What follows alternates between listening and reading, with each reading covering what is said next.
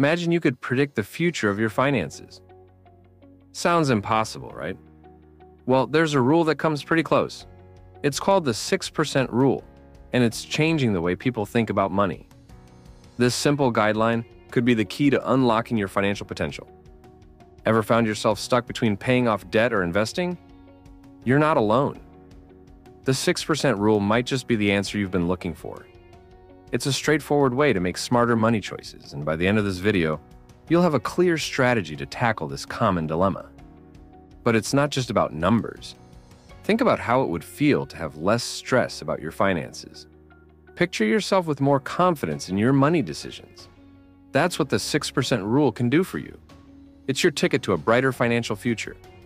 So let's find out how this simple rule can transform the way you handle your money. The debt versus investment tug of war. Let's face it, money decisions can be tough. One of the biggest challenges many people face is deciding whether to pay off debt or invest their hard earned cash. It's like being stuck in a financial tug of war, with both sides pulling hard. On one hand, you've got the weight of debt hanging over you. On the other, there's the allure of potential investment returns. This struggle is more common than you might think. In fact, the average US household owes a whopping $143,636 in total debt. That's a lot of money that could be going towards building wealth instead of paying interest. But it's not just about the numbers. Carrying debt can take a real emotional toll.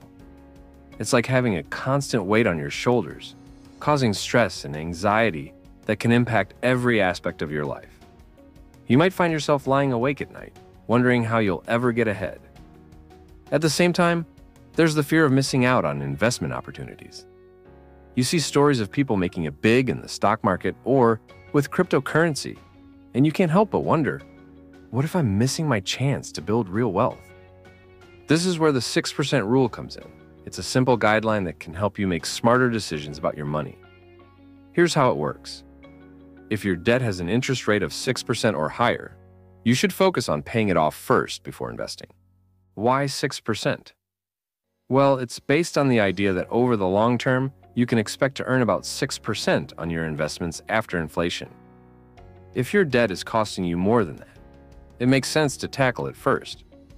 Let's look at an example. Say you have a credit card balance of $10,000 with a 17% interest rate. If you pay $500 a month, you'll end up paying about $1,842 in interest over two years. That's money that could be going towards your future instead of lining the pockets of credit card companies. The 6% rule gives you a clear starting point for making these tough decisions. It takes some of the guesswork out of the equation, helping to reduce stress and confusion. Instead of constantly second guessing yourself, you have a straightforward guideline to follow. It's important to remember that everyone's financial situation is unique. The 6% rule is a helpful starting point, but it's not set in stone. Your personal circumstances, risk tolerance, and financial goals all play a role in determining the best course of action for you. That's why it's crucial to look at the big picture when making financial decisions. The 6% rule helps you prioritize. But it's just one piece of the puzzle. You'll also want to consider things like your emergency savings, retirement goals, and overall financial health when debt becomes an investment. Now that we've covered the basics of the 6% rule, let's explore a scenario that might surprise you. What if your debt has an interest rate below 6%? This is where things get really interesting. Believe it or not, some debt can actually be an opportunity for growth. When you're dealing with low interest debt, investing might be more beneficial than rushing to pay it off. Why? It's all about the potential for long term returns. Think about it this way if you have a student loan with a 4% interest rate, but you could potentially earn 8% or more by investing in the stock market over the long term, you're actually coming out ahead by investing rather than aggressively paying down that debt. Of course, this doesn't mean you should ignore your debt entirely. The key is finding the right balance. You still want to make your regular payments, but you might consider putting any extra money into investments instead of making additional debt payments. This is where the concept of opportunity cost comes into play. Every dollar you put towards paying off low interest debt is a dollar that's not working for you in the investment market. Over time, this could mean missing out on significant gains. But before you start throwing all your extra cash into investments, there are a few important things to consider. First and foremost is the importance of capturing employer matches in your retirement accounts. If your employer offers a 401k match, that's essentially free money on the table. You don't want to miss out on that, even if you're focused on paying down debt. Let's look at an example. Say your employer offers a 50% match on the first 6% of your salary that you contribute to your 401k. If you make $50,000 a year and contribute 6%, $3,000, your employer would add an additional $1,500 to your account. That's an immediate 50% return on your investment. Another crucial factor is maintaining an emergency savings fund. Before you start investing heavily, make sure you have enough set aside to cover at least six months of expenses. This safety net can prevent you from falling deeper into debt if unexpected financial setbacks occur. So, what's the best approach? Consider a hybrid strategy.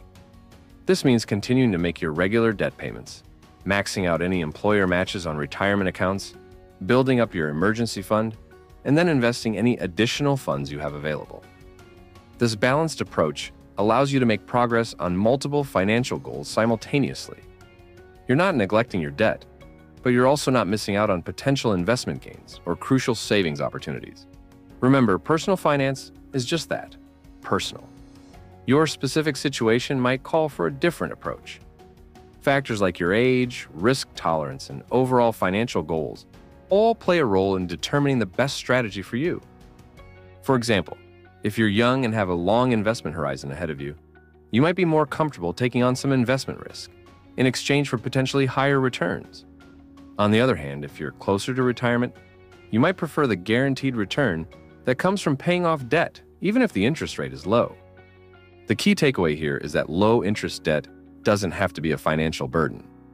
With the right strategy, it can actually become an opportunity for growth.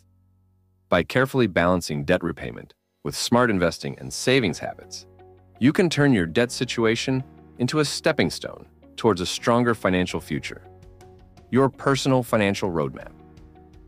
Now that we've explored the power of the 6% rule, it's time to put it into action. But here's the thing everyone's financial situation is unique. What works for your neighbor might not work for you. That's why we're going to create a personal financial roadmap tailored just for you.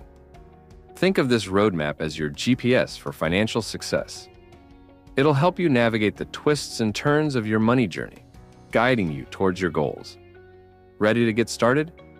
Let's break it down into four simple steps. Step 1 List all your debts and their interest rates. This might feel a bit overwhelming at first, but trust me, it's worth it. Grab a pen and paper or open up a spreadsheet. Write down every single debt you have credit cards, student loans, car payments, mortgages, the works. Next to each one, jot down the interest rate. This gives you a clear picture of what you're dealing with. Step 2. Assess your current savings and investment situations. Take a look at your bank accounts, retirement funds, and any other investments you might have. How much do you have saved? Are you contributing to a 401k or IRA? Don't forget about that emergency fund we talked about earlier. This step helps you understand where you stand right now. Step 3. Now it's time to apply the 6% rule. Look at your list of debts. Which ones have interest rates above 6%? These are the ones you want to focus on paying off first. For debts with rates below 6%, you might consider investing instead of making extra payments. Remember, this isn't a one size fits all solution, but it's a great starting point. Step 4 Create a balanced plan that considers both short term and long term goals. This is where things get really personal. Maybe you want to buy a house in the next five years, or perhaps you're dreaming of early retirement. Your plan should reflect these goals. Allocate your money in a way that helps you chip away at high interest debt while still making progress on your other financial objectives. Now, here's something crucial to remember this plan isn't set in stone. Life has a funny way of throwing curveballs when we least expect them. That's why it's important to regularly reassess your financial roadmap. Set a reminder to review your plan every few months, or whenever you experience a major life change like a new job, marriage, or the birth of a child. By creating this customizable strategy, you're taking control of your financial future. You're not just following some generic advice you found online. You're crafting a plan that adapts to your individual needs and goals. How empowering is that? Let's look at an example to see how this might play out in real life. Meet Matt, a 32 year old marketing manager. He has $20,000 in student loan debt at 4% interest, a $5,000 credit card balance at 18% interest, and $10,000 in savings. He also contributes 5% of his salary to his 401k, which his employer matches. Applying the 6% rule, Matt decides to aggressively pay down his credit card debt while maintaining minimum payments on his student loans. He continues his 401k contributions to take full advantage of his employer match.